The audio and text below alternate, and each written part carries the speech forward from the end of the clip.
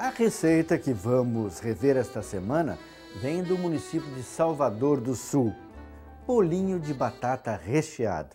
Uma receita simples e muito saborosa que foi premiada em concurso gastronômico do município. Confira.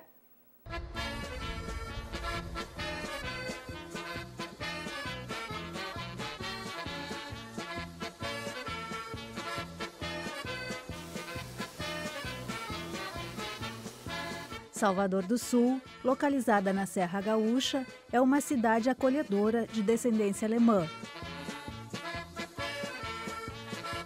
e que cultiva a religiosidade desde o início de sua colonização.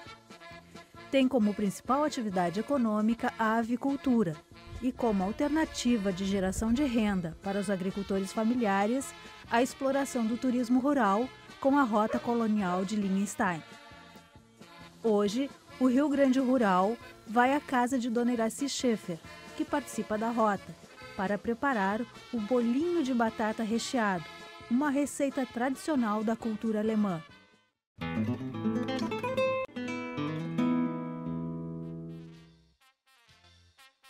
Para preparar a massa do bolinho de batata recheado, são necessários 1 kg de batata rosa, um ovo batido, uma cebola média, um dente de alho, duas colheres de sopa de amido de milho, três colheres de sopa de farinha de trigo, sal e tempero verde a gosto, banha ou óleo para fritar.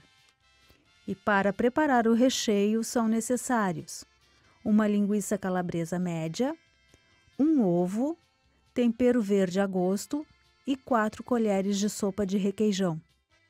E quem vai fazer a receita do bolinho de batata recheado é a dona Iraci, do Pesque Pague das Pinguelas. Vamos fazer, dona Iraci? Vamos lá, então. Daí vamos começar a ralar a batata.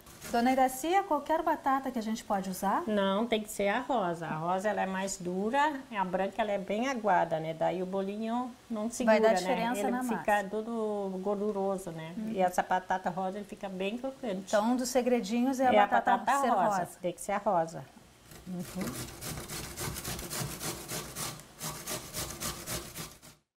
Daí agora vamos colocar o ovo.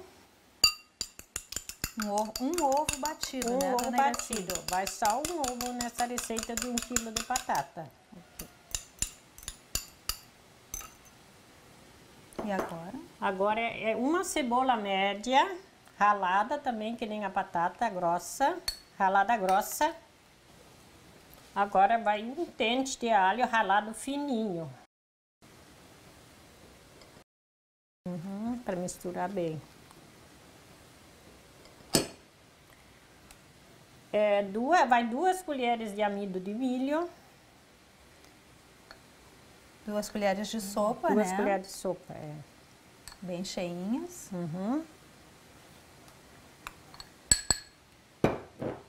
Três colheres de farinha de trigo.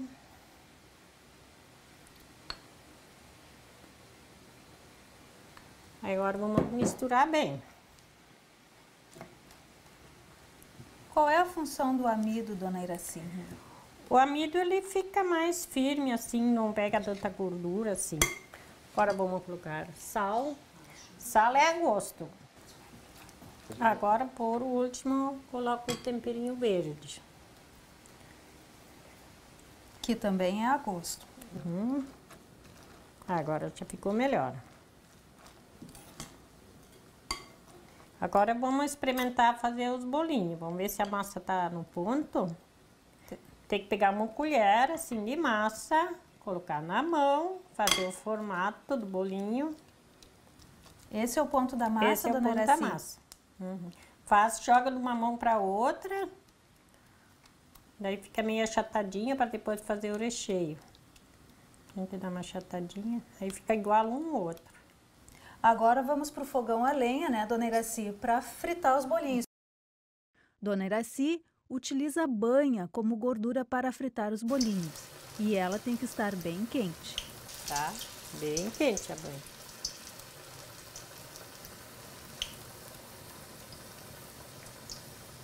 Coloca um por um.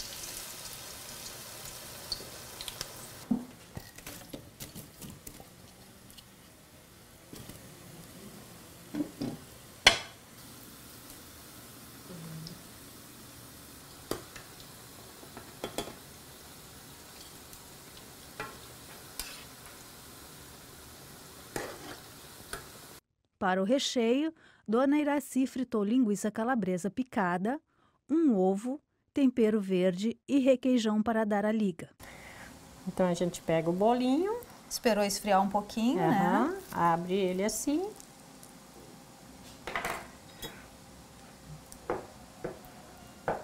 É uma colherinha de recheio para cada bolinho.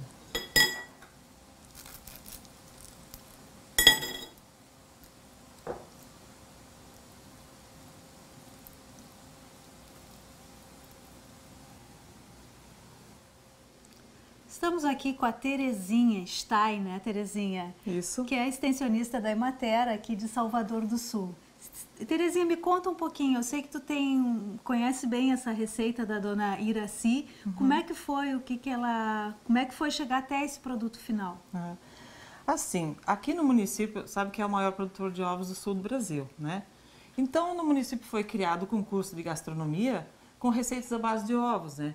Então nós pensamos, né, ó, valorização, como elas têm esse prato já aqui no Café da Colônia, que elas servem na Rota Colonial aqui, uh, elas foram desafiadas a participar do concurso, né? E todas elas apresentaram um prato que elas sempre fazem.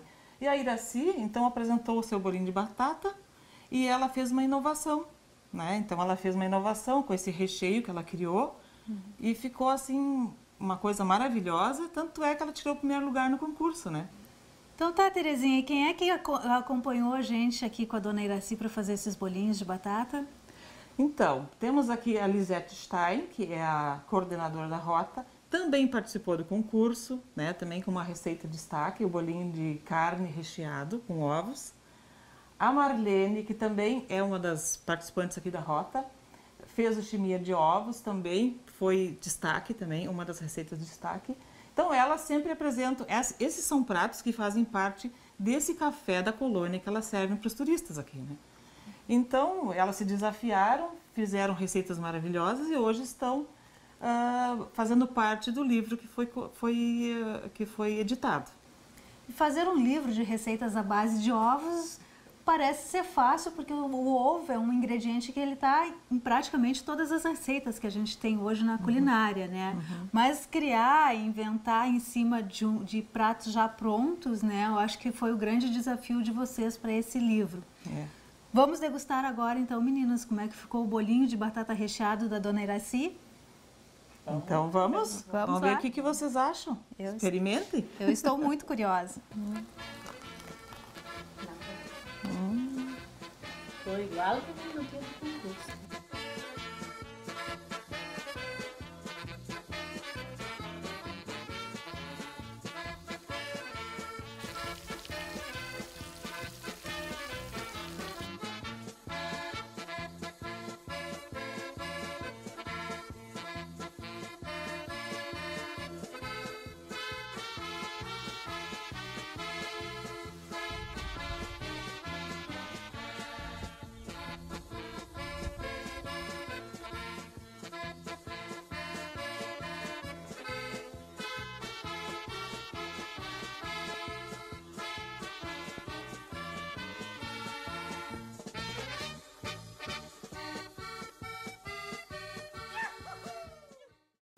Fica aí o nosso convite para que todos possam visitar a linha Colonial Stein e conhecer a gastronomia local. E as nossas receitas e as reportagens estão no site www.emater.che.br e também no endereço youtube.com/ematerrs.